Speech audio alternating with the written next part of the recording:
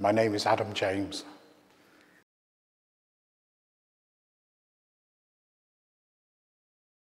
I was inspired probably mostly by my mum. Um, as kids, we used to go off, they used to take us off to the ballet and the opera. Um, and I enjoyed watching the ballet, opera not so much. Um, and I, we used to do kind of movement classes in nursery school, and it just kind of went from there.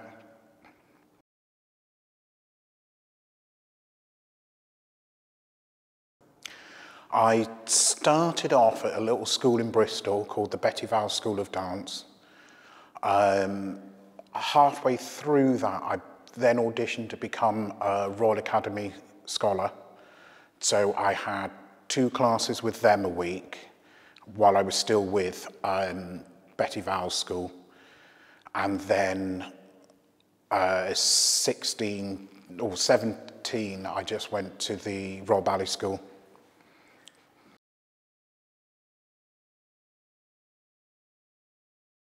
For the ballet, Royal Ballet School, um, I was lucky enough that there were still grants. So the council paid for the fees completely, and then they also paid a certain percentage of what they thought you could live on for the year. Um, luckily, my father was my father was lucky because the, there was three of us at college or universities all at the same time, and you were only expected to pay the same amount a year. Um, so uh, most of that was paid because there was three. It was divided by three kind of thing. So yeah.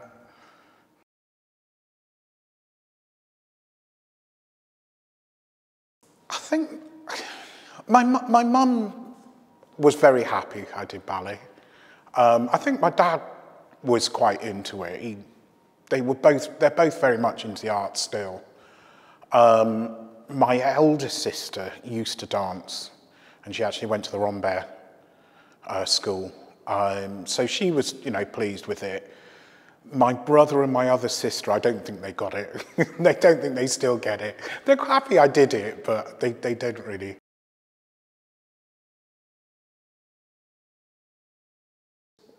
I actually, I really enjoyed the Royal Ballet School. I liked the, in the first year, it was very regimented in how they taught you things. So you could be, you could see through the week how they would progress an exercise. To, so from the Monday, it would be a kind of an easy version, and by the Friday, it would be a hard version. Um, he, was, he was very good. Uh, second teacher was Russian. He was very nice, actually. I liked him. And in the third year, I had Bill Glassman, whose wife was at dance theatre. Um, and he, he, was the one who, he, he, I think he kind of tried to take me under his wing kind of thing. He was, he was always, I always felt he was behind me and pushing me forwards more than anybody else. But no, I wouldn't, I wouldn't say anything negative about any of the teachers there. I thought they were all very good.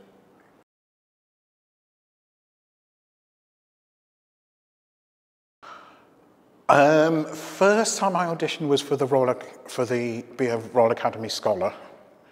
So I would have been about 11, 10, 11 years old. Um, and everybody had to go off to the, it was quite a big studio in Bristol. Um, and they sent, they would send somebody down from London to audition people. So I did the class, and at the end of the class, they would call people's names up who were going to be offered a scholarship. And my name wasn't called, which I was probably a bit upset about, and my mum was furious about. Um, and when I got home, she talked to my dance teacher, Betty Vowles, and they were both kind of like, you know, this is wrong, that I should have got a scholarship. And basically, we found out later that she didn't know that she could accept me because I was black. And she had to ask other people whether it was all right for, for me to be accepted. So in the end, I was accepted. Um, but yeah, only that wasn't a very good experience as a first audition.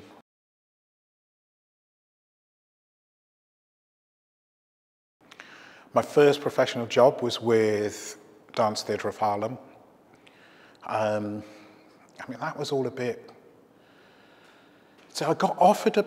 I auditioned with them in when they were on tour in London, um, and that was in the summer. And then I went over in the January after that. I was still at the Royal Ballet School, and it was actually Bill Glassman got me the audition. Um, and that must have been 1983, the summer of 83. When I first arrived, Judy Felix was there. Um, but I don't think she was there for that long while I was there before she left. Um, but that was it at that time. There was no other English people there. Because of dancing, I'd always stuck out and it felt I was part of a group, and that was nice. Paul Bailey, Samantha Webb, Ada Shola, and Greg. Richard Witter. Yeah, we, I, I would like to think that we were good friends. We used to, when we, half the time when we were on tour together, we shared a hotel room. Um, we got on, we got on well. Rachel, oh, the Rachel Seki. So she used to teach in the school, Rachel Seki. She used to teach tap. Yeah, she was there before me. Um, and she was kind of in the school and also teaching tap at the school as well.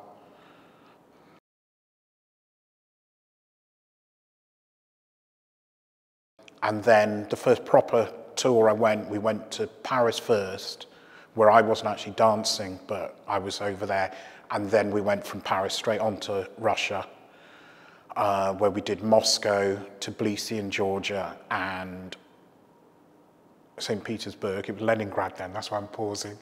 Um, and then after that, we've toured around Europe. So we went to um, Italy, Palermo, um, I want to say Germany, um, Spain, um, and then all over America, um, California, um, Was uh, Washington State, Seattle, um, Ohio, Chicago. So a lot of places in around the states, which actually was very nice for me to get to see other states that other than New York.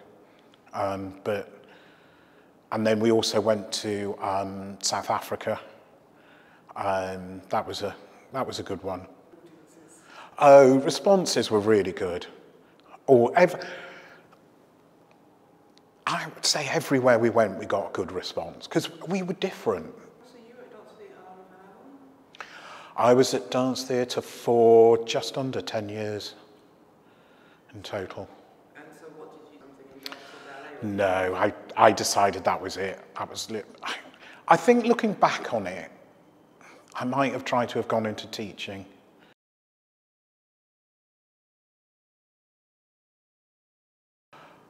I would say highlight of my career was doing Peasant Pas in Giselle. So it's kind of like the second lead male. Um, and I did that at like uh, Kennedy Center in Washington and in New York. I did that. A couple of other places actually. Um, but that was probably the biggest, the, yeah, yeah, the biggest highlight of my career.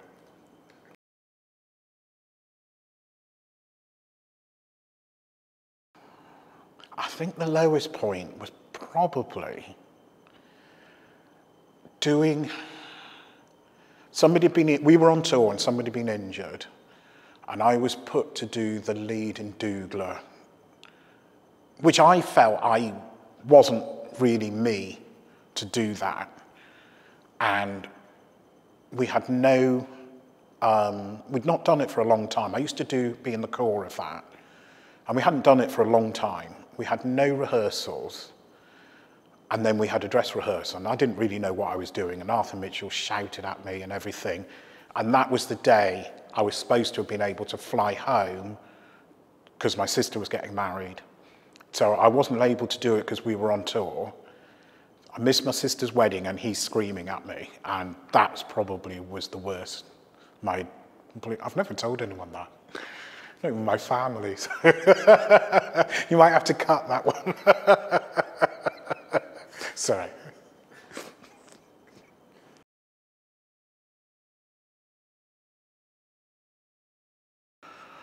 Ooh, I don't know. Um, I mean, I was considered short, and I'm five foot eight. I don't think it's short, but Arthur Mitchell liked tall people. Um, I, I, I, don't know how I would describe my I, um, long legs, not overweight. I try and breathe in.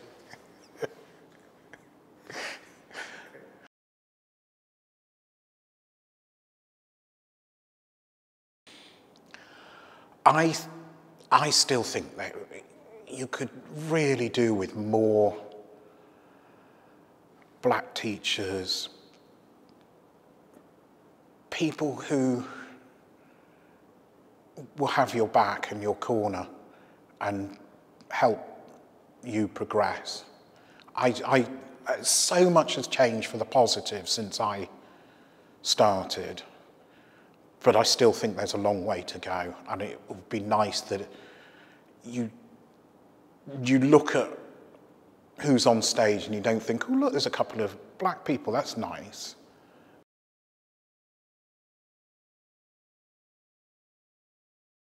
Yeah, I do. I think it, I think the good that it can do and show kids, you know, who, who maybe aren't as lucky, you know, they don't have parents that I had. You know, it, it shows them that they can do. They could either be a dance, they could be anything. Um, just, I think it helps make it more normal and, you know, to see that it is possible. I'm adopted. I would say I was a black person if I had to put it on paper when they you got a million different ways to describe yourself, I would put black African and white British. There's a box, I can't remember how they say it now, but so originally my mother is white and my father was from Africa, was born in Africa. I grew up to believe that it was Ghana